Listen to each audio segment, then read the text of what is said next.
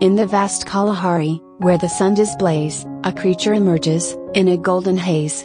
With tiny paws and fur so sleek, meerkats are the critters I long to speak. In numbers they gather, a family so tight, a community that thrives in the desert's might.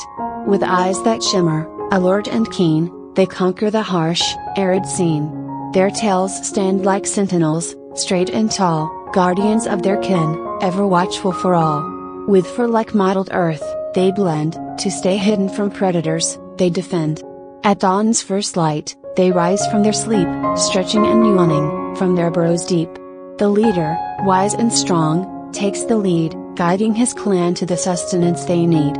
With nimble fingers, they dig in the sand, foraging for insects, grubs, and what's at hand. Their teamwork is unmatched, a well-oiled machine, in this harsh environment, they reign supreme. They stand on their hind legs, like tiny statues, surveying the land, with keen eyes that choose, to spot danger afar, or a meal on the ground, in this unforgiving place, their wits are renowned. Their calls are a symphony, a language unique, to communicate danger, or a morsel to seek. Their social bonds are strong, like a family of love, each meerkat a vital piece, like a hand in a glove.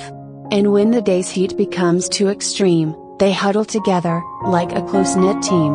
In the shade of a thorn tree, they find reprieve, a moment of rest before the evening's retrieve. As the sun sets low and the night's chill descends, they return to their burrows, with family and friends.